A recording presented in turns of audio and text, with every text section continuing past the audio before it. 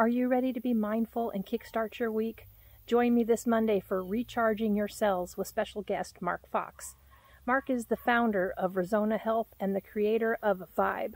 We will be talking about the science behind Vibe and the many protocols it has, the testimonies from his clients of how it's helped them with PTSD, ADHD, diabetes, and a whole lot more.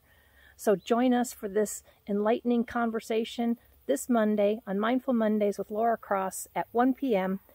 Central Time on the Voyage to Vitality channel, Achieve TV network, right here on E360 TV. Be there, be mindful.